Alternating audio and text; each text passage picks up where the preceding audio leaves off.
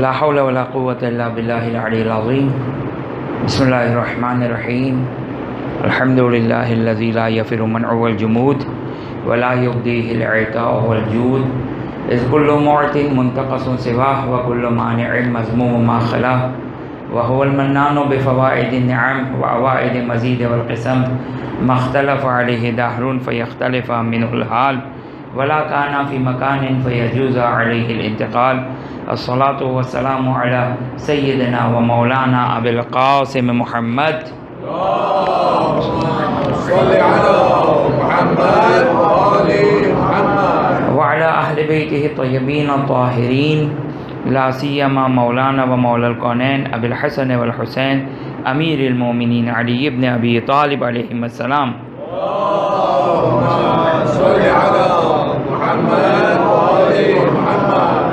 रूही व अरवाहुल ले तुराब मक़दम फ़िदा। वलानुद्दाइम अला आदाइहिम इला क़ियाम यौमिद्दीन। रब्बि सदरी व अमरी। वहलुल उक़दतम मिन क़ौली। बिस्मिल्लाहिर रहमानिर रहीम। अल्लाहुम्मा कुल्लि वलियकल हुज्जत इब्नुल हसन। सल्लवातुका अलैहि आबाए फ़ी हाज़िहि स्साअति व फ़ी कुल्लि साअ वलिया व हाफ़ वक़ायद व नासर व दलील वाइना हत्ता तुस्किन अर्ज़ का तवा व तुमत फ़ीहा तवीला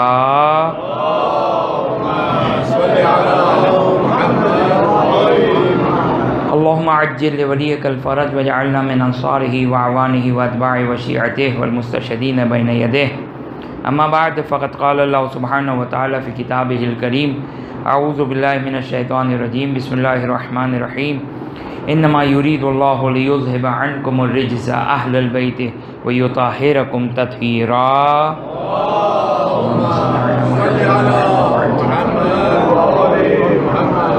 हमारी गुफ्तु इस आयत के जेल में चल रही थी और आपकी खिदमत में बयान किया कि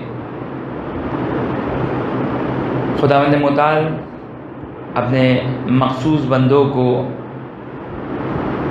मसलहत को मद्दनज़र रखते हुए एक खसूसियत देता है, जिस खसूसियत का नाम है इसमत।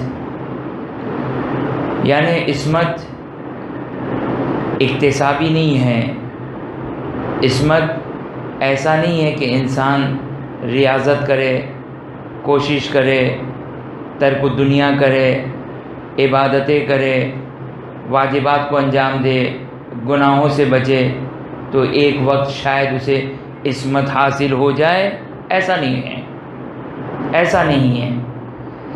देखिए, इंसान, एक रिवायत है कि इन्नल मोमिन यंजुरु बेनूरिल्लाह। इत्तकू बेफिरासतमोमिन कि मोमिन की फिरासत से डरो, मोमिन की फिरासत से डरो। क्यों? ले अन्नहु यंजुरु क्योंकि वो अल्लाह के नूर से देखता है खूब ये हदीस है हमारे पास ये हदीस है कि फिरासत मोमिन से डरो क्योंकि वो अल्लाह के नूर से देखता है ये हदीस है और अब ज़ाहिर खाली किताबों में हदीस आने से कुछ साबित नहीं होता है। हमें ये भी साबित करना पड़ेगा कि आया ये ऑथेंटिक हदीस है, मोतबर हदीस है। अगर मोतबर हदीस है भी तो भी यह हदीस ये नहीं बयान कर रही है कि इंसान जो है वो मोमिन, जनरल मोमिन के बारे में ये, इत्तकू बेफिरासतमोमिन लन्नजरू बेनूरिल्ला है कि फ़िरासत मोमिन मोमिन की होशियारी से डरो, क्योंकि वो अल्लाह के नूर से देखता है। इसका मतलब ऐसा नहीं है कि उसके लिए लोहे महफूज के दरवाज़े खुल गए। ऐसा नहीं कि इल्म माकान व इल्म मा यकून उसको अता कर दिया गया, जैसे छठे इमाम ने इरशाद फरमाया। ऐसा नहीं है, बल्कि उसके पास एक किस्म की फ़िरासत आती है, एक किस्म की होशियारी आती है। उसे बेवकूफ़ नहीं बनाया जा सकता है, उसे धोखा नहीं दिया जा सकता है। एक फ़िरासत है, एक किस्म की फ़िरासत आ जाती है।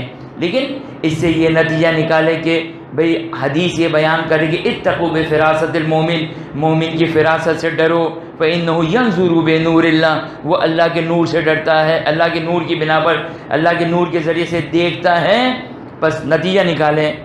इज़ इक्वल टू ये है कि वो मासूम हो गया। तो ये ऐसा कुछ नहीं है। ऐसा कुछ नहीं कि एक हदीस से हम सब मोमिन की, खूब ये हदीस तो मोमिन के बारे में है मोमिन के बारे में है। कोई इसमें नहीं आया कि नमाज़ शब पढ़ने वाला जो है वो नाफला अंजाम देने वाला, कुरान की तिलावत करने वाला, वगैरह वगैरह, रियाजत करने वाला।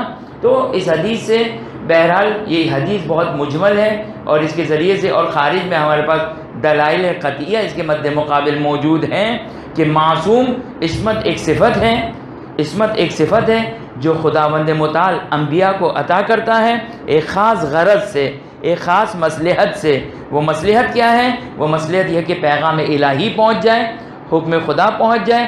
दीन विदाउट एरर बग़ैर किसी कमो बेश के, वो दीन जो वो उम्मत तक पहुँचा दिया जाए। इसी तरह इमामत के ऊपर, खैर इमामत के सिलसिले में, जैसा कि आपकी खिदमत में इरशाद फरमाया, आपकी खिदमत में कुरान इरशाद करता है, इरशाद फरमाता है, और आपकी खिदमत में बयान किया कि जो है वो आयमाई अथारम की इसमत आय तथीर बयान करती है, दलील अकली बयान करती है, रिवायात बयान करती हैं कि आल मोहम्मद आल मोहम्मद अलैहिस्सलाम मासूम हस्तियाँ हैं। मासूम, कल मैंने आपकी खिदमत में बयान किया था कि इसमत के ख़ुद दर्जात है, इसमत के ख़ुद दर्जात है। लेकिन मैं इंशाल्लाह आज इसी आज इस गुफ्तु को मज़ीद आगे बढ़ाऊँगा और आपकी खिदमत में ये दर्जात समझाने की कोशिश करूँगा कि इसमत का दर्जा यानी क्या मतलब? इसमत का दर्जा, यानी क्या मतलब? इन चंद तारीख़ी मिसालों के ज़रिए से और कुरान की आयत और रिवायत के ज़रिए से समझाने की कोशिश करूँगा कि दर्जात का क्या मतलब है। क्योंकि बहरहाल देखें ये एक ऐसा मफहूम है, एक ऐसी चीज़ है कि जिसको हमें नहीं मालूम है कि इसमत दर हकीकत क्या है। हमने सिर्फ़ आसार के ज़रिए से पहचानना है, डेफिनेशन के ज़रिए से पहचानना है अल्फाज के ज़रिए से पहचानना है। कोई, कुछ चीज़ें ऐसी होती हैं थोड़ी सी मुश्किल गुफ्तु करने दें मुझे, जब तक लोग आ जाएँ। तवज्जो कीजिएगा। कुछ ऐसी चीज़ें होती हैं, कुछ ऐसी चीज़ें होती हैं जिसको इंसान आँखों से देख सकता है। कुछ ऐसी चीज़ें होती हैं जिसको आँखों, इंसान कानों से सुन सकता है। कुछ ऐसी चीज़ें होती हैं जिसका इदराक इंसान अपने नफ्स में करता है। कल मैंने आपकी खिदमत में थोड़ी बहुत इसकी मिसाल दी थी। मिसाल के तौर पर भूख। भूख एक ऐसी चीज़ है, एक ऐसा इल्म है, भूख एक इल्म है, प्यास एक इल्म है, ये सारी चीज़ें इल्म की अकसाम में से है। भूख एक इल्म है, प्यास एक इल्म है, पेट भरा हुआ ना एक इल्म है, प्यास ना लगना ये एक इल्म है, ये सब के सब इल्म है। इल्म किसको कहते हैं? किसी चीज़ का जानना, किसी चीज़ का मालूम होना। किसी चीज़ का मालूम होना ये इल्म है। अब जो चीज़ें आँखों से दिखाई दी जा सकती है, जो चीज़ कान से सुनाई दी जा सकती है, इंसान उसके ऊपर इल्म हासिल कर लेता है, उसको देख कर इल्म हासिल कर लेता है, उसको सुनकर इल्म हासिल कर लेता है, लेकिन कुछ चीज़ें ऐसी होती हैं जो दिखाई नहीं दी जा सकती है। मिसाल के तौर भूख, प्यास, दर्द, खुशी, गम, ये सारी वो चीज़ें जो दिखाई नहीं दी जा सकती है। लिहाजा इसको क्या है? इसको आसार के ज़रिए से, अलामतों के ज़रिए से जो है वो इंसान पहचान सकता है। एक शख्स तड़प रहा है उसकी तड़प की शिद्दत से आप अंदाज़ा लगा रहे हैं कि इसको दर्द कैसा है। इसमत भी इन्हीं चीज़ों में से है। इसमत कोई दिखाई देने वाली चीज़ नहीं है। इसमत ऐसा नहीं कि दिखाई दी जा सके। लिहाजा इसमें जो है वो हिदायत भी मुश्किल है और गुमराही भी आसान है। दो जुमले कहे मैंने। हिदायत भी मुश्किल है और गुमराही भी आसान है। हिदायत मुश्किल है यानी आयमा की इसमत को साबित करने के लिए खून पसीना एक करना पड़ा। आयमा की इसमत को साबित करने के लिए, वरना 250 साल। आयमा ने सन 11 हिजरी से लेकर 260 हिजरी तक आयमा ने इन्हीं दुश्मनान आल मोहम्मद के दरमियान ज़िंदगी गुजारी, अपने इल्म का इजहार किया, अपने इल्म के कमालत का इजहार किया, अपने पास्ट और फ्यूचर के इल्म का इजहार किया, लेकिन उसके बावजूद हर धर्मी की हर धर्मी रही।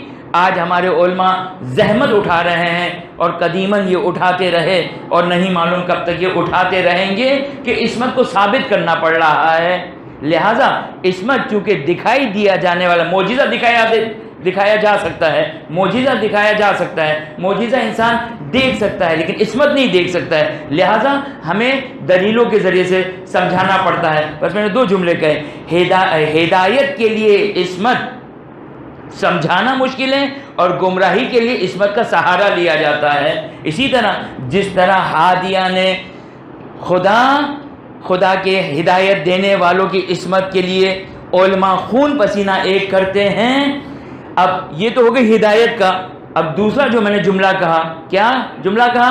गुमराही के लिए भी इसका सहारा लिया जा सकता है। गुमराही फैलाने के लिए। अब मिसाल के तौर पर कोई आकर कहे, फुला फ़कीर, फुला मर्जे, इसमत के मकाम पर थे। फुला फ़की फुला मर्जे, इसमत के मकाम। शेख मुर्तज़ा अंसारी इसमत के मकाम पर थे। अल्लामा बहबहानी अल्लामा बहरुलूम इसमत के मकाम पर थे। नाउजुबिल्लामिक मसलन। खूब। डिनाई कैसे करेंगे? इनकार कैसे करेंगे? दिखाई दे, दी जाने वाली चीज़ होती तो कहेंगे, भाई, हमें तो नहीं दिखाई दी जा रही है। लिहाजा, मेरा बच्चा और जवान, याद रहे कि इसमत दर हकीकत खुदा मंद मुताल एक ख़ास हमत की वजह से देता है। और ये इसमत का सिलसिला मुनक़ हो गया, ख़त्म हो गया। आखिरी इमाम इमाम हजत अज्जल्ला फ़रज शरीफ पर।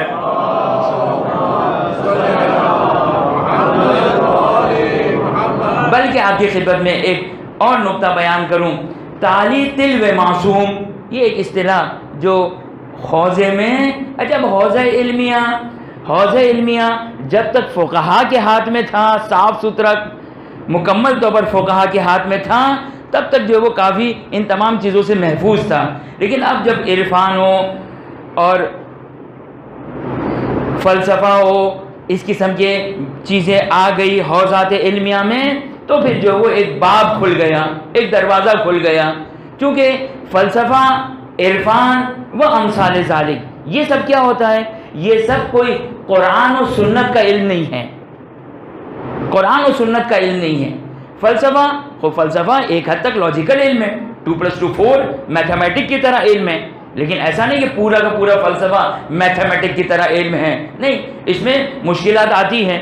बहुत सारी ऐसी मुश्किल हैं फ़लसफ़े की कि जो फ़ोकहा उस फ़लसफ़ी कानून के ऊपर एतराज़ करते हैं। मिसाल के तौर पर जो वो बहरहाल ज़्यादा मुश्किल गुफ्तु नहीं करना चाहता, इरादा इंसान का इंसान का इरादा। यानी, अगर फ़लसफ़ी कानून के लिहाज से देखा जाए तो मैं आपको सिर्फ़ रिज़ल्ट बता रहा हूँ। अगर फ़लसफ़ी कानून, फ़लसफ़ी फार्मूला के ज़रिए से इरादे को बहस किया जाए, इरादे को डिस्कस किया जाए, और बाज़ अपने कलाम में लाशौरी तौर पर इस बात के मुलतज़िम हुए, इस बात को कह गए, क्या? कि अगर, मिसाल के तौर पर इरादा इरादा, जब हर चीज़ का सबब मुसबब सबब मुसबब सबब मुसबब इल्लत मालूल कॉज इफ़ेक्ट कॉज इफ़ेक्ट सबब मुसबब जब हर चीज़ का आप बनाएँगे तो हर चीज़ का जब इस तरीके से बनाएँगे तो अब मैंने एक जुर्म किया। जब जुर्म किया तो जुर्म का कोई सबब होना चाहिए। जब सबब क्या होगा? मेरा इरादा होना चाहिए। ये इरादा कहाँ से आया? लिहाजा लिहाजा इस इरादे के लिए आपको जाना पड़ेगा। नवजुबिल्ला मिजाली खुदा ने ये इरादा डाला। नवजुबिल्लाजाली जब आप सबब मुसबब कॉज, इफ़ेक्ट, इल्लत, मालूल के इस फार्मूला को लेकर चलेंगे जो फ़लसफियों ने बनाया खूब दुरुस्त है फल, कोई हरज, कोई गलत नहीं है। है दुरुस्त। लेकिन जब इंसान इस तरह चलेगा तो बहरहाल मुश्किल में गिरफ़्तार होगा। खूब इल्लत मालूल का जो कानून है, एक फ़लसफी कानून है, दुरुस्त कानून भी है। लेकिन इसकी क्या हद है? किस तरह इसको जवाब दिया जाए? फ़ोकहा ने जवाब दिया है, अगर कोई ने और दूसरे फ़ोकहा ने जवाब दिया कि इस शुबे को किस तरह दूर किया जाए? अला अल्लाह मैं आपकी खिदमत में अर्ज़ कर रहा था कि तवज्जो तवज्जो फरमाइएगा। इसमत, हिदायत वालों के लिए हादिया ने उम्मत के लिए जो हादी हिदायत देने वाले, उनके इस बात के लिए मुश्किल है और गुमराह करने वालों के लिए एक आसान चीज़ है। कि आप कहते हैं, भाई, वो इसमत के मरहले पर पहुँचे हुए हैं। वो आरिफ है, बहुत बड़े आरिफ हैं। उनके लिए बड़े मुना मुकाशफात हैं। अच्छा बड़े मुकाशफात हैं। आपने देखे मुकाशफात आपने आपको दिखाए मुकाशफात आपने देखे मुकाशफात ये बाज़ार गर्म है ये। और याद रखिएगा, भाई, हमें जो आल मोहम्मद ने सिखाया आल मोहम्मद ने हमारे लिए सिखाया क्या? इन्नी तारिकों फ़ी कुमुसकलैन किताब अल्लाह है वह इतरती। इन तमस्सुक तुम इन तमस्सुक तुम बेहिमा लन तजिल्लु बादी। ये इमाम रसूल खुदा सल्लल्लाहु अलैहि वसल्लम का फरमान कि आप एक दूरी पढ़ लें।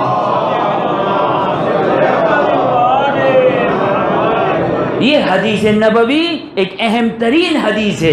एक अहम तरीन हदीस है किस चीज़ को साबित करने के लिए?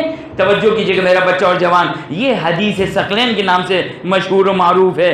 और शिया सुन्नी सुन्नी किताबों में मोतबर सनत के साथ ये हदीस आई है। लिहाजा हमारे ओलमा इमामत को साबित करने के लिए इस हदीस को दलील के तौर पर लेकर आते हैं। ये हदीस खुद क्या बयान करती है? ये हदीस आपको एक तो जो मैं बयान करने जा रहा था, क्या बयान करने जा रहा था? याद रखिएगा मेरा बच्चा और जवान, हमारा दायरा क्या है? हमारा मैदान क्या है? हमें किसके दुम्बाल में जाना है? हमें किसके पीछे जाना है? ये हदीस ये बयान कर रही है और दूसरा हमारे मौजू से भी मुताबिकत करती है। हमारा मौजू क्या है? हमारा मौजू, तवज्जो कीजिएगा। हमारा मौजू क्या है? हमारा मौजू है इसमत।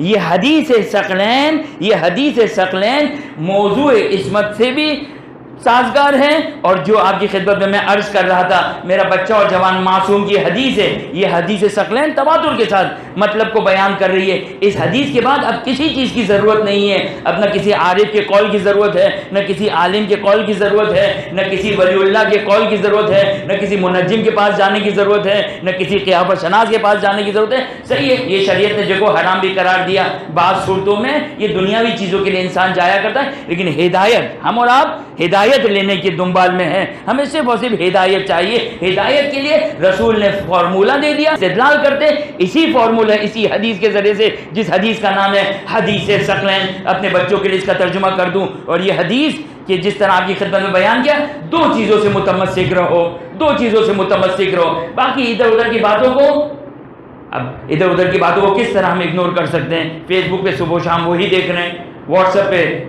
वीडियो मैसेजेस आते हैं वीडियो आपके वीडियोज़ आती हैं, जिसमें मुख्तलिफ़ किस्म की बातें जो बयान की जाती है। अगर हम अपने अंदर इस बात को उतार लें, अपने अंदर इस बात को उतार लें, हमें सिर्फ़ और सिर्फ़ मोहम्मद आल मोहम्मद से दीन लेना है। सिर्फ़ मोहम्मद आल मोहम्मद अलैहिस्सलाम से हिदायत लेनी है। तो इन अज़ीज़, इस आखिर दौर में, आखिर दौर में जो गैबत का दौर है, सख्त तरीन दौर है गैबत का, रिवायतों के अतबार से सख्त तरीन दौर दौर है कि रिवायतों का जुमला है। मैं एक जुमला कहता हूँ, रिवायतों की बिना पर यह जुमला कहता हूँ। गैबत नोमानी की बिना पर गैबत नोमानी की रिवायत को जाके इंसान देखे, क्या है? तवज्जो कीजिएगा, ये गैबत का ज़माना किसी और का इम्तहान नहीं है, किसी और का इम्तहान नहीं है।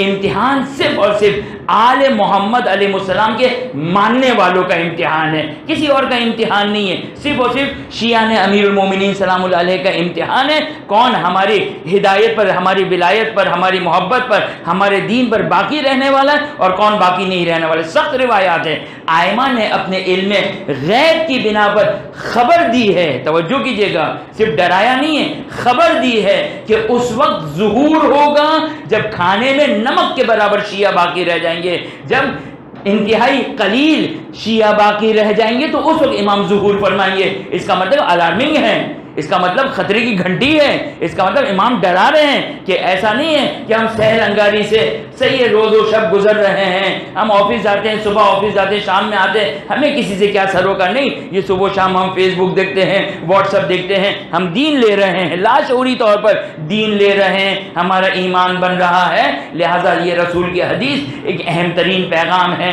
जिसके ज़रिए से हम अमीरमिन और अहल बैत अथार अलैहिस्सलाम की विलायत और अहल बैत अथार अलैहिस्सलाम की इसमत को साबित करते हैं। इस हदीस सकलैन के ज़रिए से। क्या है हदीस सकलैन? कि जो आपकी खिदमत में बयान किया, अहल सुन्नत की मोतबर तरीन किताबों में मोतबर तरीन सनत के साथ कसरत के साथ, एक रिवायत नहीं, दो रिवायत नहीं, कसरत के साथ रिवायात अहल सुन्नत के किताबों और तारीख में और हदीस की किताबों में आई है। अपने बच्चों के लिए इसका तर्जुमा कर दूँ और इसके ज़रिए से ये दो इस्तेदाल आपकी खिदमत में बयान कर दूँ। बस क्या फरमाते हैं आप सल्लल्लाहु अलैहि वसल्लम? कि इन्नी तारिकुम फ़ी कुमुल सकलैन किताब अल्लाह है व इतरती अच्छा अब हमारे जवानों के जहन में भी एक शुबा है कि इतरती तो हमारी किताबों में है, उनकी किताबों में सुन्नती है। जी नहीं, उनकी किताबों में लफ्ज इतरती है। अगरचे सुन्नती उनकी हदीस की किताबों में है, लेकिन उनके एतबार से भी सुन्नती वाली रिवायत ज़यीफ़ है। उनके एतबार से भी ज़यीफ़ रिवायात है। कल आपकी ज़यीफ़ रिवायत है। मैंने आपकी खिदमत में बयान किया था ना आय तथीर के जेल में अक्रमा भी कायल है इस बात का कि अक्रमा क्या कहता है? आहलबैत से मुराद खाली अजवाज रसूल है। खूब आप कहें, बस ये भी एक कॉल है। खूब इसका कोई ऑथेंटिसिटी कोई एतबार नहीं है।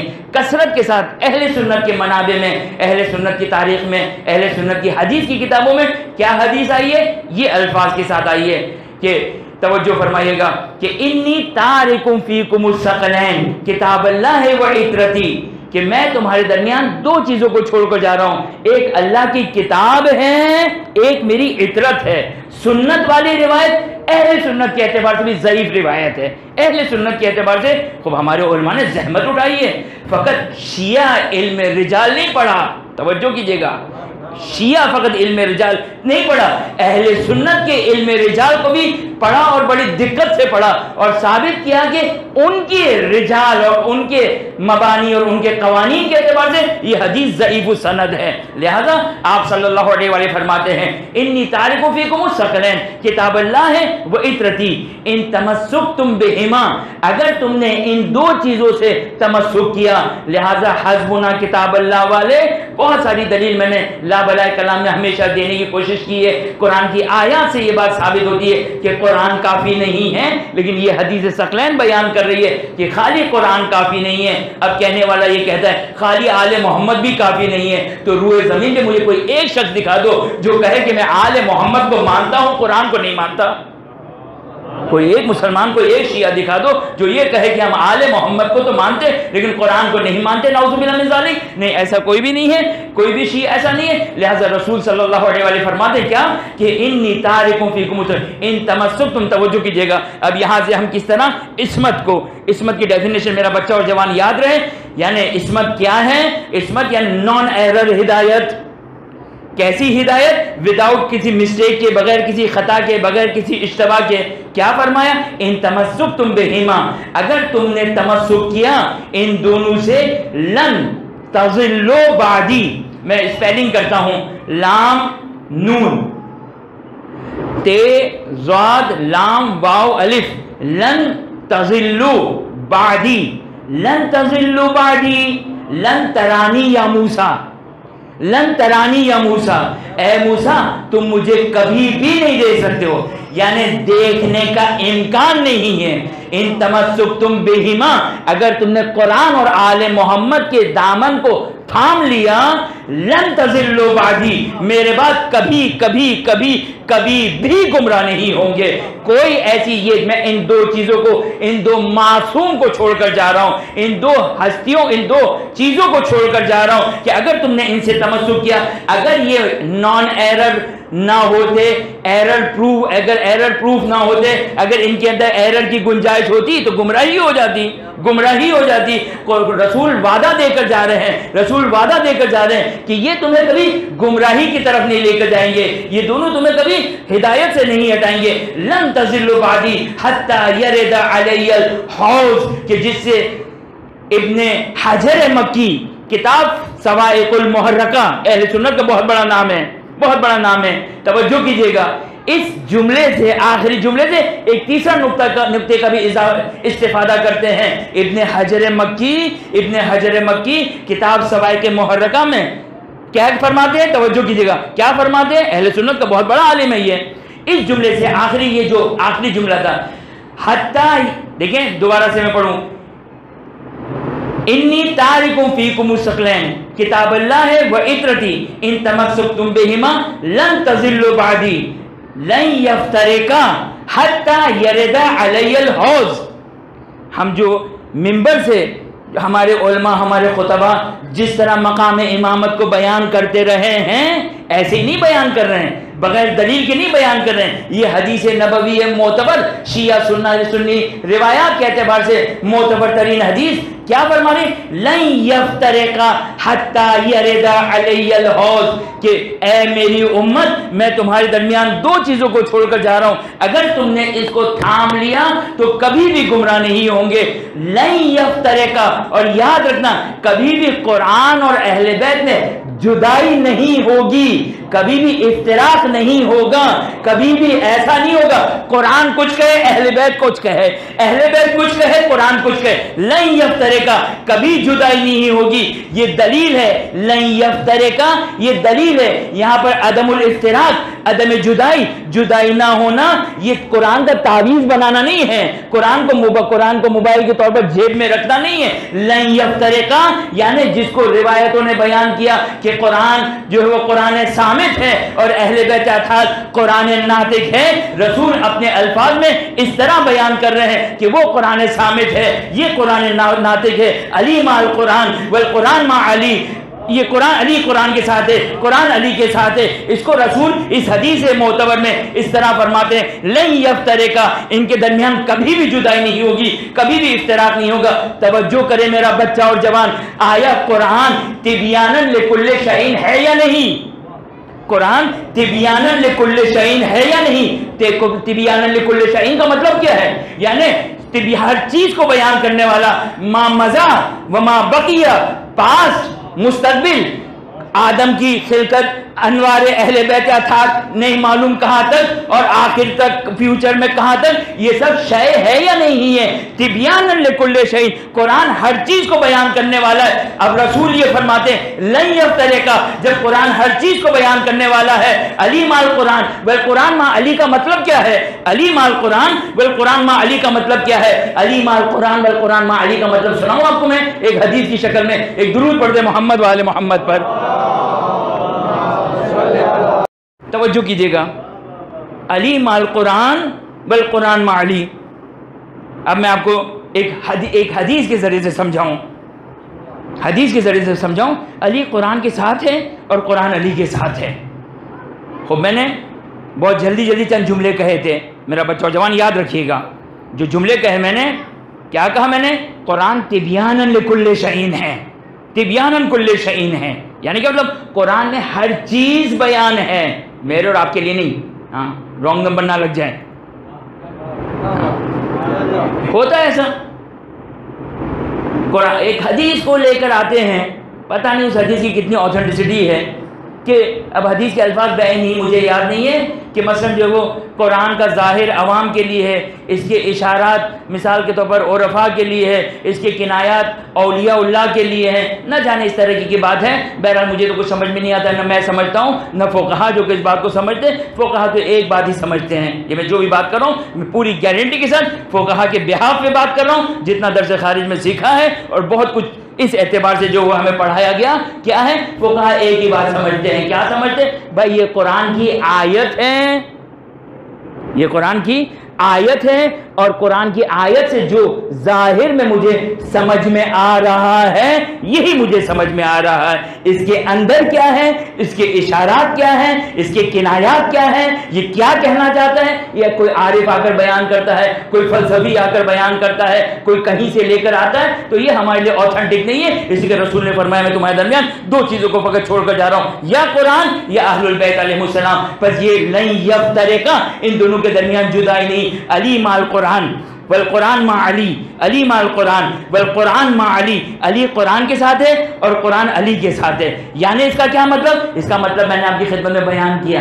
क्या मतलब है? यानी अली माल कुरान वल कुरान मा अली। इसका मतलब यह है कि अगर कुरान कुछ कहे तो अली का कहना है। अली कुछ कहे तो कुरान का ये कहना है। अब तवज्जो कीजिएगा। मैं आपकी खिदमत में बयान करना चाह रहा हूँ। एक मुश्किल मरहला, मुझे याद आ रहा है, गुमान कभी है।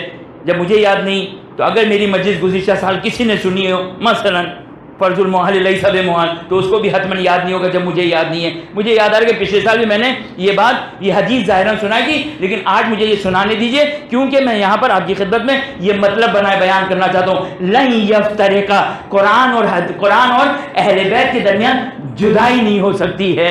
ये जुदाई ना होने का मतलब क्या है?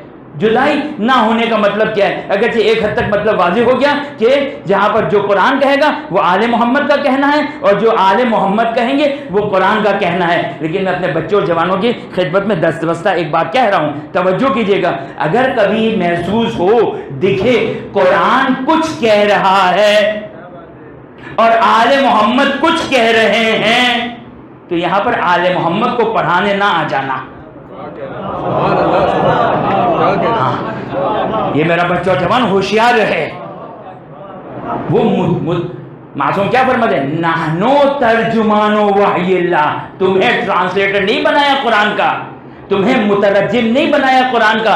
नाहनो तर्जुमान वाहिल्ला। हम बताएँगे कि कुरान क्या कहना चाह रहा है। लिहाजा लिहाजा ये एक मसला है और बहुत सारी रिवायतों में जब इमाम सलाम कुरान से इस्तेलाल करते, पहले बार आपकी खिदमत में ये नुकता शायद बयान किया था। इमाम जो वो कई मरतबा हदीसों में जब कुरान से इस्तेलाल करते हैं, इस्तेशहाद करते हैं तो बाज़ समझ में नहीं आ रहा है। समझ में नहीं आ रहा है कि इमाम कुरान से कैसे निकाल रहे हैं। अब ना समझ में आए। ना समझ में आए। कोई मसला नहीं है। इमाम मासूम ने फरमा दिया, सर, आँखों पर सदक अल्लाह, अपना बिस्तर पोटला समेटिए और जाइए। समझना बस इससे ज़्यादा हमारी अक्ल शूर है ही नहीं। यही तस्लीम है, यही तस्लीम है, यही इमामत का मफहूम और माना यही है। जहाँ अपनी अक्लों को बंद कर दे, ये इमामत के सामने हर मोमिन की ज़िम्मेदारी है कि अपनी अक्लों के घोड़ों को दौड़ाना बंद कर दे और सर तस्लीम के दामन को थाम ले अब तवज्जो कीजिएगा। अमीर मोमिन की एक मशहूर मरूफ हदीस है, जो आप लोगों ने सुनी है, लेकिन इसके ख़ास एक जुमले से एक उसका एक एक जुमला खास, वो आमतौर पर कम पढ़ा जाता है। बाकी जो वो अमीर मोमिन की हदीस बड़ी मशहूर मारूफ हदीस है। सलूनी सलूनी, कबल अंतफूनी से मुझसे सवाल करो, मुझसे सवाल करो। कबल इसकी कि मैं तुम्हारे दरमियान से चला जाऊँ, मुझसे सवाल करो। अगर मेरे लिए मसंद मसंद कजावत को बिछा दिया जाए तो मैं तौरेत से अहले तौरेत का फत, अहले तौरेत के लिए तौरेत से फतवा दूँगा, अहले इंजील के लिए इंजील से फतवा दूँगा, अहले ज़बूर के लिए ज़बूर से फैसला दूँगा, और अहले कुरान से कुरान का फैसला करूँगा। खूब यहाँ तक तो ये हदीस सुनी हुई है। इसके बाद अमीर उलमोमिन क्या फरमाते हैं कि जब मैं, हो, अब इमाम अमीर उलमोमिन सलाम फरमाते हैं, तवज्जो कीजिएगा, अली मल कुरान मल कुरान मा अली क्या है, लन यफ्तरे का हत्ता यरद अली हौज किया है। अमीर उलमोमिन फरमाते हैं, याद रखिएगा, ये इसमत से हम हटे नहीं हैं। इसमत के लिए अहम तरीन चीज़ इल्म है इल्म है, और इल्म सारा का सारा कुरान में मौजूद है। अब तवज्जो कीजिएगा। यहाँ पर मुझे बयान करने से पहले, ये जुमला बयान करने से पहले एक जुमला आपकी खिदमत में बयान कर दूँ। एक दुरूद पढ़ दे मोहम्मद वाले मोहम्मद पर।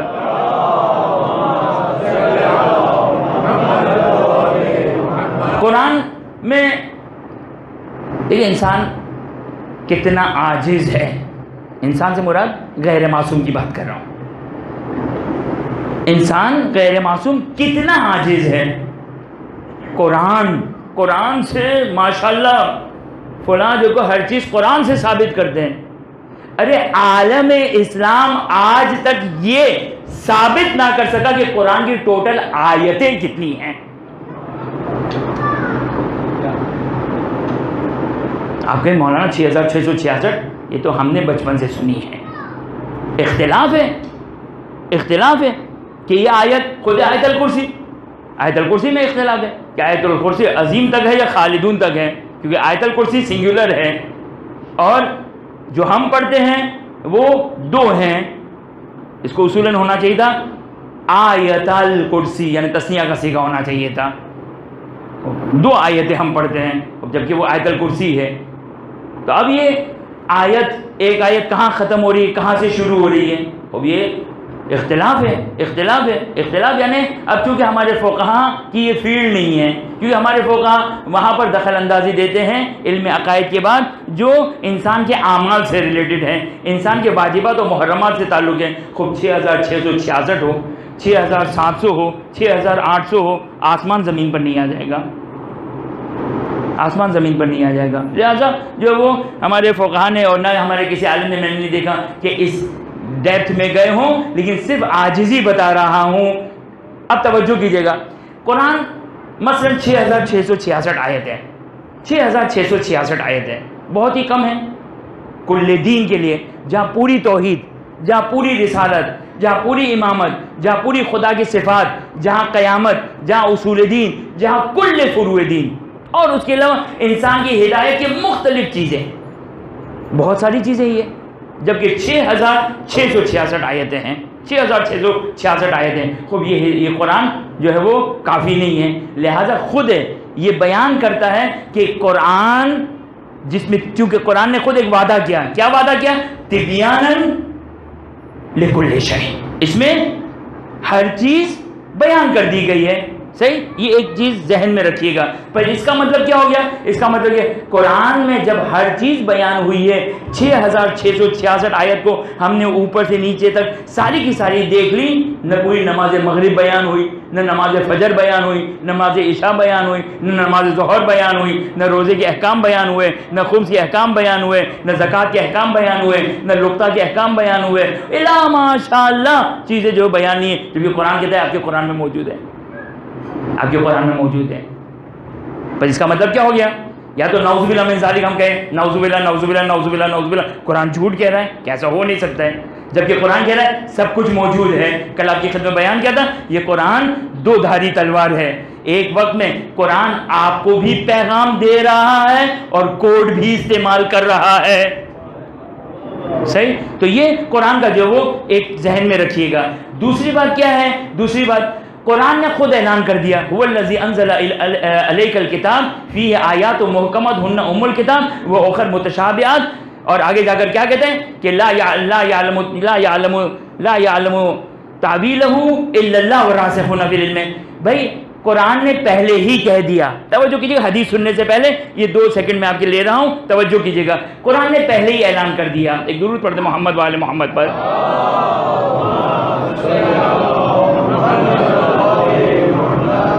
कुरान ने पहले ही कह दिया।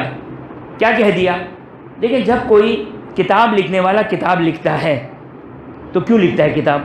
ताकि मेरा कारी मेरा कारी जो है वो इस किताब को समझे। सही? अब अगर मिसाल के तौर तो फिज़िक्स की कोई किताब लिखी गई, केमिस्ट्री की कोई किताब लिखी गई, एक दफ़ा उस्ताद के लिए लिखी तो उस्ताद लोग जो वो, ये उस्ताद जो वो समझ जाए। यानी उनके लिए लिखी तो वो समझ में आनी चाहिए। और अगर मिसाल के तौर तो बच्चों के लिए लिखी है तो बच्चों के एतबार से किताब लिखी है। बस किताब लिखने वाला क्या होता है? जो मेरा कारी है, उसको वो बात समझ में आ जाए। खुदा ने पहले ही मेरे और आपके रास्तों को बंद कर दिया। क्या कहा? कि फ़ी आया तो मोहकमात हन्ना उम्मल किताब, व उखर मुतशाब ला यालमु तावील इल्ला वरासिखुन फिल इल्म कि इसमें आयात महकमात भी है आयात मुतशाबे भी है। और याद रखना आयात मुतशाबे की ताली ताबील को कोई नहीं जानता अल्लाह सुबहान व ताला जा, जानता है और नासिफ नबी जानते। लिहाजा खुदा ने पहले ही ताले लगा दिए। ये किसके बारे में है? आयात मुतशाबे के बारे में। अच्छा सीना तान कर हम ये ना चले आयात महकमात तो हमको मिल गई। जी नहीं आयात महकमात में भी हमारा दायरा उसके ज़ाहिर तक है। उसके ज़ाहिर तक है, इसके बातिन में क्या कह रही है ये आयात महकमात तमाम आलम ओकला तवज्जो कीजिएगा, साहेबान अकल, बू अली सीना को लेकर आ जाइए, अरस्तु को लेकर आ जाइए, फाराबी को लेकर आ जाइए, तमाम अहले जो उलूम माकूलात में माहिर थे अपने फ़ील्ड के इमाम थे सबको लेकर आ जाइए और कहेंगे ये आयत का ज़ाहिर है इसके बातिन का कम अज कम फ़र्स्ट फ्लोर ही बता दो। सातवां फ्लोर तो बहुत दूर की बात है तो कहेंगे भाई ये हमारी पहुँच से बालातर है। तो जब फर, जब अफलातून ने जब अरस्तू ने जब बू अली सीना ने हथियार डाल दिया तो बहरहाल हमारी फिर क्या हैसियत है? हमने तो अकल के घोड़े को दौड़ाने की आदत रखी नहीं है। हमने अकल को घोड़े के दौड़ाने की आदत नहीं, हम बहुत रेस्ट देते हैं अपनी अकल को कि कहीं ज़्यादा बोझ ना पड़ जाए। तो वो जिन्होंने अपनी ज़िंदगी माकूलात में और इनमें अकल में सुबह शाम जहमत उठाई है, उनके सामने भी कुरान की आयत रख दे तो कहते कि नहीं भाई, हम नहीं समझ सकते। अब आपने सुन लिया? समझ, मेरा बच्चा और जवान तवज्जो कीजिएगा। दो चीज़ें बयान की। दो जगह ताले लगे हुए हैं। दो जगह ताले लगे हुए।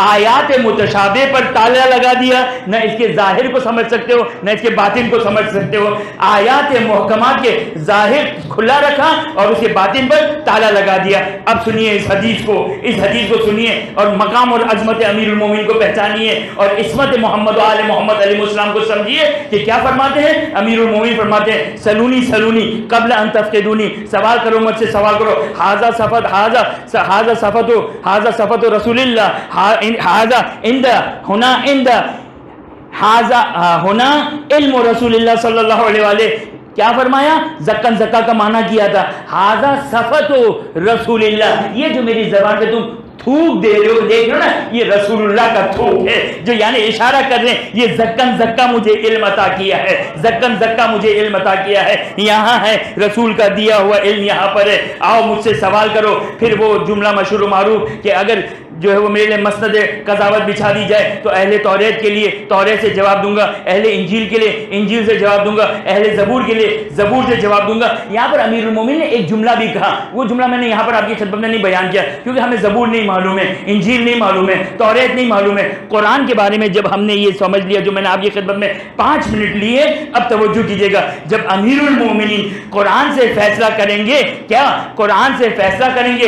अहले कुरान के लिए कुरान से फैसला हत्ता हत्ता यकूल कुरान, यहाँ तक के कुरान कह उठेगा।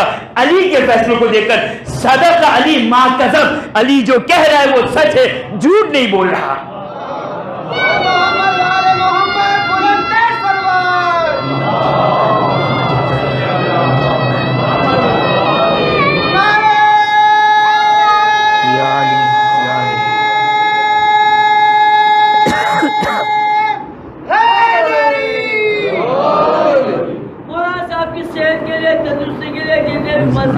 साहब आए सबकी सेहत के तंदुरुस्ती के लिए, अमीर खातून की भी मुकम्मल सेहत के तंदुरुस्ती के लिए इमाम ज़माना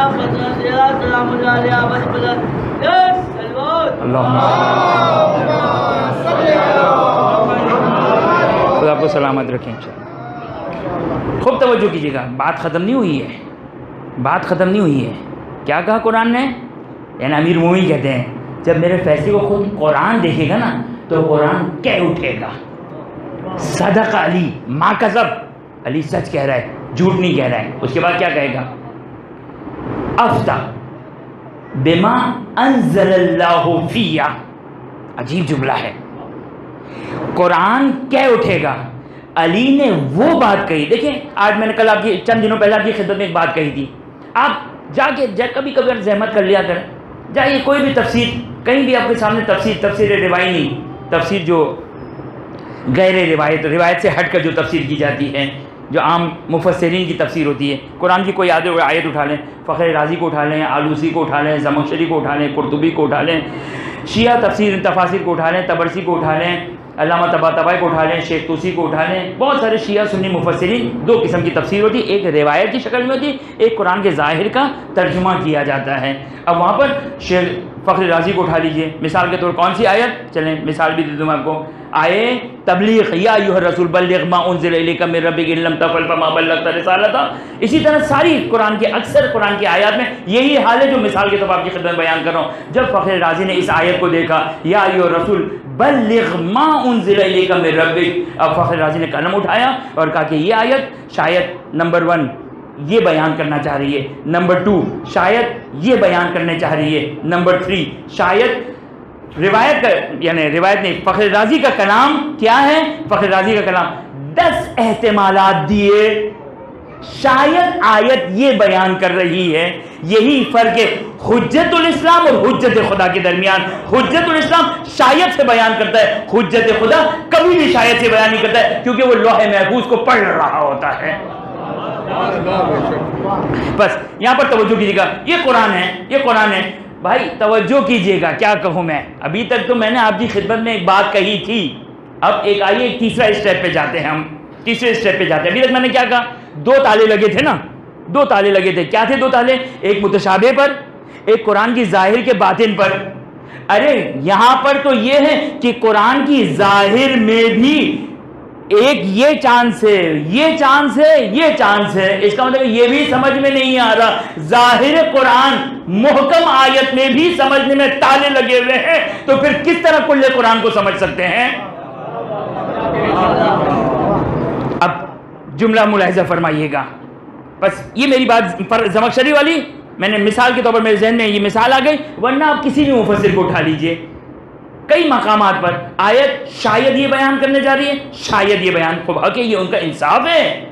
ये नाउजुबिल्ला ये उनकी मैं तोहिन करूँ अल्लामा तबा तबाई की तोहिन करूँ नाउजुबिल्ला शेख मुफी, शेख तुलसी की तोहिन करूँ, जिनकी तफसीर तिबियान है, या मैं किसी अल्लामा तबरसी की मजमूल बयान की नाउजुबिल्ला तबरसी की तोहिन करूँ नाउजुबिल्ला ये इंसाफ है उनका। हमारे मिंबर वाला हाल नहीं है इन मुफसरीन का कि ठोक कर जो कह के कुरान ये बयान कर रहा है। ये इंसाफ है इन उलमा का कि जब आयत को उठाते दें तो कहते कि शायद आयत ये बयान कर रही है, शायद आयत ये बयान कर रही है। इंसाफ क्या है? अपनी जहालत का ऐलान कर रहे हैं। अपनी जहालत का ऐलान करना ये इंसाफ चाहता है। इसके लिए मर्दानगी चाहिए इसके लिए जुरत चाहिए कि इंसान आलिम होने के बावजूद अमामा पहनने के बावजूद दी, दीन बयान करने वाला बनकर फिर इंसान अपनी जहालत का ऐलान करे। ये है मर्दानगी ये है बहादुरी ये है मर्दानगी जो हमारे फुकाहा का हमेशा से तरीके कार रहा है कि हदीस शायद ये बयान करने जा रही है हदीस शायद ये बयान करने जा रही है। अब आइए आखिरी जुमला आपकी खिदमत में बयान करूँ इस हदीस शरीफ का ताकि पता चले मकाम आल मोहम्मद का इल्म किस मकाम पर है? जो कुरान तिबियान शहीन है। ला रद वला या बेसिन इल्ला फ़ी किताब मुबीन। हर खुश को तर अपने जहनों में लेकर आ जाइए। हर खुश को तर को अपने जहनों में लेकर आ जाइए। हर शय को कुरान में बयान किया गया। लेकिन मेरा बच्चा और जवान, फिर एक जुमला कह दूँ, ये हमें गलत फहमी ना हो कि कल जाके हम ढूंढना शुरू कर दे कुरान खोलकर कि कहा है कि तिबियान लिकुल शय हर चीज़ को बयान किया तो मेरे और आपके लिए बयान किया? नहीं, ये उनके उन अहल के लिए बयान किया। आखिरी जुमला सुन लीजिए। अमीर मोमिन फरमाते हैं कि जब मैं फैसला करूँगा अहल कुरान का, कुरान के ज़रिए से तो हत्या यकूल कुरान, यहाँ तक कि कुरान कह उठेगा। क्या कह उठेगा? सदक अली मा कजब। अली सच कह रहा है, झूठ नहीं कह रहा है। वक़्त अफ्ताकुम बेमा अनजल्लाफीना फिया। क्या कहेगा? कुरान ये कह उठेगा। भाई, कुरान के अंदर क्या क्या चीज़ें हैं? जहन में रखिएगा। आयात मुतशाबे है, आयात महकमात के उसके अंदर जो को बवातिन है, सब कुछ मौजूद है। जब मुफसर आता है तो शायद शायद करके बात करता है, लेकिन जब अली इब्न अबी तालिब आता है और कुरान से फैसला करता है तो कुरान कह उठा, उठता है? क्या? कि अहले कुरान, अली ने मेरी किताब से, मेरी किताब से फतवा दिया। क्या फतवा दिया? जो खुदा ने मेरे अंदर रखा था, वो बयान किया। जो खुदा ने मेरे अंदर रखा था। भाई, जब एक मौलिफ कोई ऑथर किताब लिखने वाला, जब किताब लिख रहा होता है, किसी को क्या मालूम उसके जहन में क्या है? नानो वायतो इल्म हम अल्लाह के इल्म का जर्फ हैं। वो ऑथर वो किताब लिखने वाला किताब लिख रहा है, अब पढ़ने वाला पढ़ रहा है। जैसे शायरी में होता है, शायरी में यही होता है ना कि भाई शायर ने शार शेर पढ़ा। अब मर्ज़ी है, जिसको जो आप जो, जिसका मिजाज हो, शायर के उस शेर की तशरी कर दें। वो मिजाज उसकी, कोई बात नहीं, मगर तुम क्या शायर के जहन में बैठे थे? तुम क्या शायर के जहन में बैठे थे कि शायर ये कहना चाह रहा है ये किताब का ऑथर ये कहना चाह रहा है, लेकिन ये है अली इब्न अबी तालिब, ये है आल मोहम्मद अलैहिस्सलाम नहीं, अली अल्लाह के जहन में नहीं बैठा था। खुदावंद मुताल ने रिवायत का जुमला, हम अल्लाह सुबहान तआला के इल्म का जर्फ है। यानी खुदा का सारा का सारा इल्म हम खुदा मुताल ने हमारे नफ्स के अंदर उतारा है। हमारे नफ्स के अंदर उतारा है। नतीजा क्या होता है? नतीजा ये होता है क्या बनता है नतीजा? नतीजा ये होता है कि अब ख़ता का इम्कान नहीं हो सकता है। खूब, अगर कोई आल मोहम्मद की ख़ता का एहतमाल दे तो ऐसा है, कैसा है? इज़ इक्वल टू खुदा की ख़ता का इम्कान देने वाला। क्योंकि जब सारा का सारा इल्म, भाई, मासूम कैसे बनता है इंसान? इल्म से बनता है ना? इस दीवार के पीछे क्या है? मैं खबर दूँ। इल्म गैब की खबर है, मुझे तो नहीं मालूम। अब मैं इल्म गैब की खबर दूँ, इस दीवार के पीछे ये है। अब मेरे पास अगर इल्म गैब खुदावंद मुताल ने अता किया हो तो मैं खबर दूँगा, इसके पीछे क्या है। आले मोहम्मद अली मुस्लिम के पास सारा का सारा वो इल्म, जो खुदावंद मुताल के पास मौजूद है वह आल मोहम्मद जर्फ के उन्मान से आल मोहम्मद के पास मौजूद है। अगर यहाँ पर अगर आल मोहम्मद का इल्म अगर ख़ता कर गया तो खुदा का इल्म ख़ता कर गया। खुदा का इल्म ख़ता कर गया। लिहाजा आल मोहम्मद, लिहाजा वो जुमला जो छठे इमाम का कल आपकी खिदमत में मैंने बयान किया, क्या कहा छठे इमाम ने? लौकुर तो बैन मूसा वल खिजर। अगर मैं मूसा और खिजर के दरमियान होता तो अनबा तो हुमा तो मूसा और खिजर को मैं बता देता। क्या बताता इन्नी आलम मिन हुमा मैं इन दोनों से ज़्यादा आलम हूँ। मैं इन दोनों से ज़्यादा आलम हूँ। क्यों? लन्नहु ओतिया लन्नहुमा ओतिया मा स- मा मज़ा इसलिए कि उनको पास का इल्म अता किया गया और हमें पास का और मुस्तकबिल सारा का सारा इल्म अता किया गया एक दुरूद पढ़ दे मोहम्मद वाले मोहम्मद पर आपकी खिदमत में इस हदीस सकलैन को मैं मुकम्मल कर दूँ हदीस सकलैन क्या कह रही है हदीस सकलैन या आ, एक दुरूद पढ़ दे मोहम्मद वाले मोहम्मद पर इन्नी तारिकुम फ़ी कुमुसकलैन किताब अल्लाह व इतरती इन तमस्सुक तुम बिहिमा लन तजिल्लु बादी अगर तुमने इन दोनों से तमस्सुक किया तो कभी भी गुमराह नहीं होंगे खूब कभी भी गुमराह नहीं होंगे इसका मफहूम क्या निकलता है इसका मफहूम ये निकलता है कि अगर इन दो में से किसी एक को भी छोड़ा गुमराही है अब दुनिया में हम क्यों आए हैं? खुदा ने कुरान क्यों भेजा? अम्बिया क्यों भेजे? रसूल को क्यों भेजा? दीन क्यों भेजा? हिदायत के लिए भेजा। खूब, आल मोहम्मद अलैहिस्सलाम से तमस्सुक जिस तरह कुरान भेजना ताकि हमारी हिदायत के असबाब फराहम हो जाए, इसी तरह जिस तरह कुरान को भेजा ताकि हमारी हिदायत के असबाब फराहम हो जाए, आल मोहम्मद अलैहिस्सलाम से तमस्सुक के बारे में यह हदीस सखलैन बताती है कि जिसके बारे में मैंने आपकी खिदमत में अर्ज़ किया। बस तवज्जो कीजिएगा, यहाँ पर आखिरी में एक जुमले की वजाहत कर दो। फ़खर राज़ी का जुमला, नहीं इब्ने हजर मक्की का जुमला आपकी खिदमत में बयान कर रहा था। इन्नी तारीफ़ों फ़ी कुमुल सखलैन किताब अल्लाह है, वह इतरती। इन तमस्सुक तुम इन तमस्सुक तुम बेहिमा लन तजिल्लु बादी। अगर तुमने इन दोनों से तमस्सुक किया ऑप्शनल नहीं है। किसी एक से कर लें। नहीं। हिदायत एक सूरत में ही हासिल है। वो क्या है? जब दोनों से तमस्सुक हो। दोनों से तमस्सुक हो। एक से तमस्सुक काफ़ी नहीं है। काफ़ी नहीं तो बहुत, यानी काफ़ी नहीं का मतलब ये नहीं है कि जो है वो कोई बात नहीं। फ़ायदा नहीं मिलेगा। नहीं।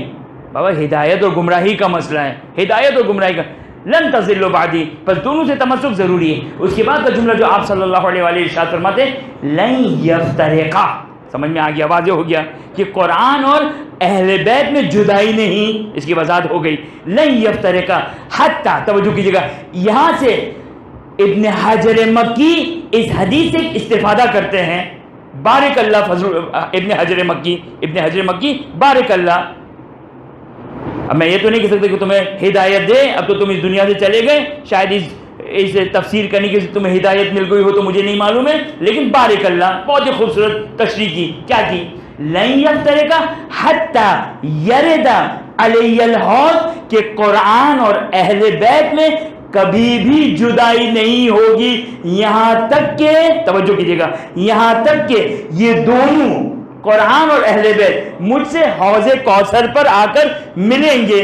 फखर इब्न हजर मक्की ये कहते पर इस हदीस के टुकड़े से पता चलता है कि रसूल के जाने के बाद कयामत तक, नहीं, कयामत तक नहीं, हौज कौसर तक कोई ना कोई होना चाहिए। रूए ज़मीन पर जो आले मोहम्मद का फर्द हो।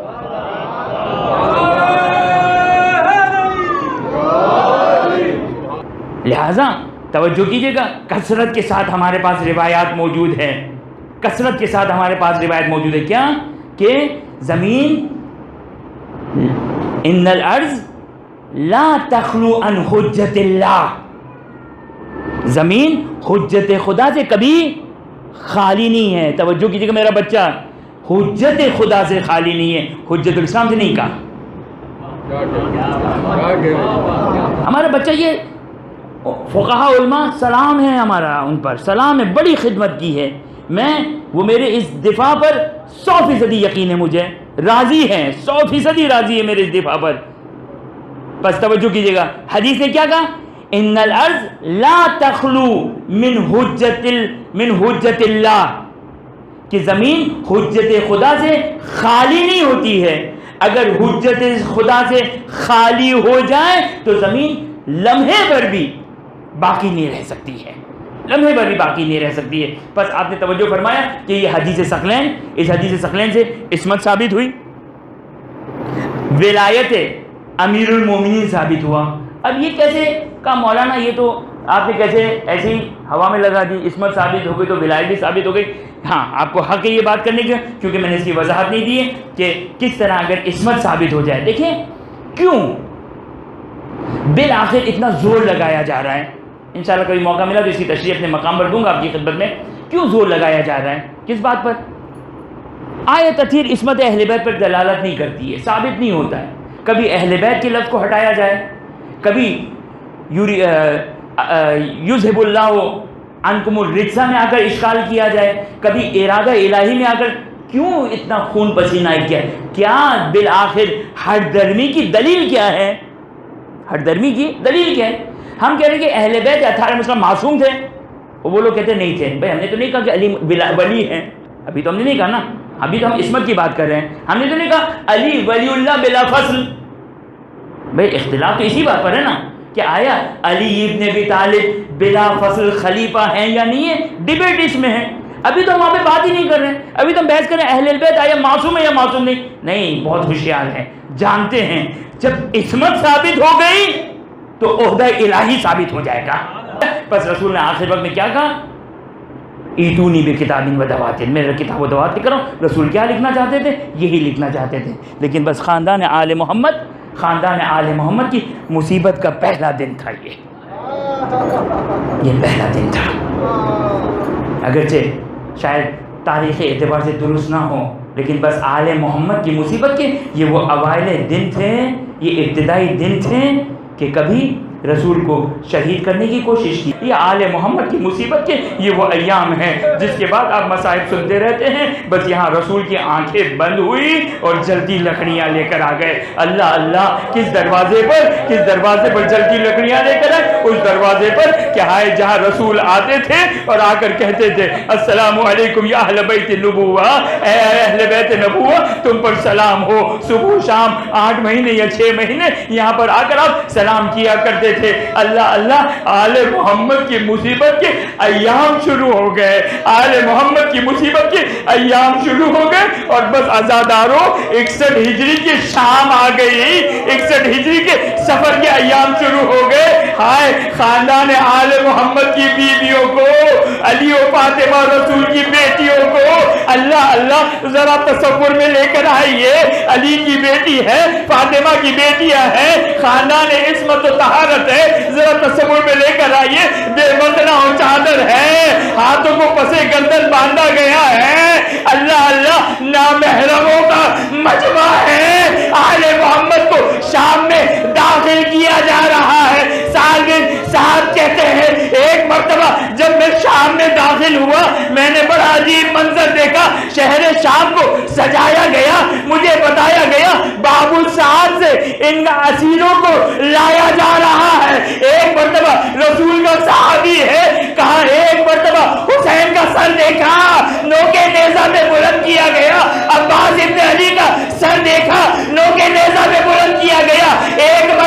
मुख्तलिफ़ रिवायात मिलती है। एक मरतबा, एक बीवी के करीब गया, अपनी निगाहों को झुका दिया, तरफ़ पर सवाल किया ए बीवी, कोई हाजत है? कोई ख्वाहिश है? बीवी ने दो ख्वाहिश का मुतालबा किया।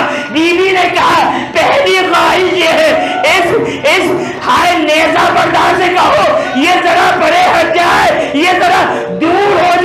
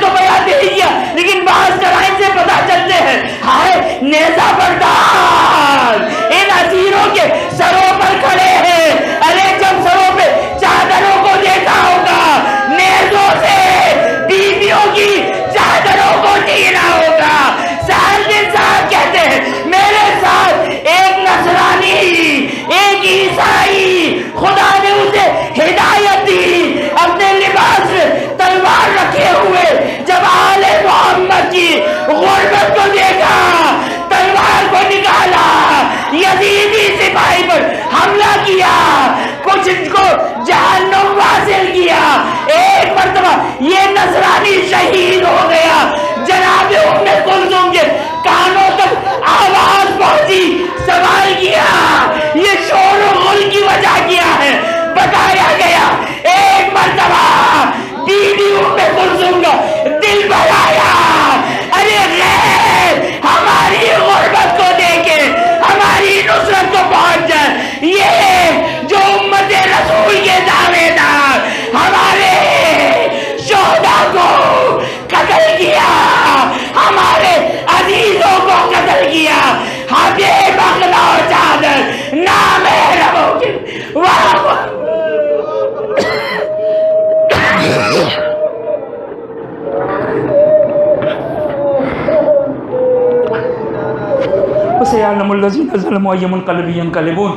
बारेला इन आंसुओं को बायस शफात करार फरमा खुदा तो ये वास्ता देते मोहम्मद आल मोहम्मद की अजमत का वास्ता हाजी मजलिस मोमिनात कुल मोमिनात मुंतजमीन तमाम मोमिनात की तमाम जायज़ हाजात को पूरा फरमा जो मोमिनात परेशान हाल रोज़ी की मुश्किल में गिरफ़्तार बच्चों की तालीम बच्चों की शादी घरेलू मसाइल सैलाब जादवान की जो मुश्किल हैं हाजिर मजिद मोमिनात की मुश्किल मुंतजमीन की मुश्किल खुदा वंदा बेहक मोहम्मद वाले मोहम्मद बेहक जैनब कुबरा उम कुलसुम अलैहिस्सलाम खुदा वंदा वास्ता देते हैं मोहम्मद वाले मोहम्मद की अजमत का वास्ता तमाम मोमिन मोमिनात तमाम सैलाब जबदान की मुश्किल को दूर फरमा खुदा वंदा वास्ता देते मोहम्मद वाले मोहम्मद की अजमत का वास्ता देते हैं हाजिर मजलिस मोमिन मोमिनात के मरहूमी मुंतजमीन के मरहूमी कुल मरहूम मोमिनात की मगफरत फरमा जवार मासूमिन में जगह अता फरमा खुदा अपनी आखिरी उज्जत इमाम असर जमान सलाम की जहूर में ताजील फरमा हमें उनके आवान वानसार में करार फरमा मातम हुसैन